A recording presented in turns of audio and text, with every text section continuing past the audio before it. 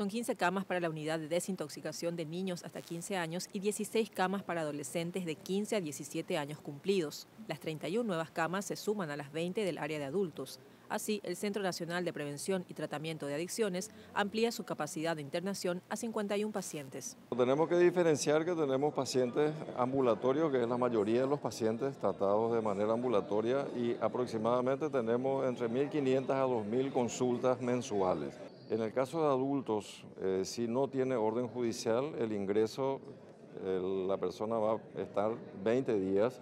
Si tiene orden judicial son 15 días y en el caso de niños son 30 días. El paciente más joven que requirió internación fue un niño de 8 años. La causa principal es la adicción a la cocaína en forma de crack, chespi o pasta base. El motivo de internación más frecuente es el de la cocaína fumable, ¿verdad? que eh, cambió radicalmente la manera como se consumía, o sea, el patrón de consumo. Entonces es el motivo más frecuente de pedido de ingreso y hay una cosa curiosa que es el mismo usuario por el gran deterioro que genera a nivel pulmonar pide porque se siente muy mal. Pero no es la sustancia más consumida.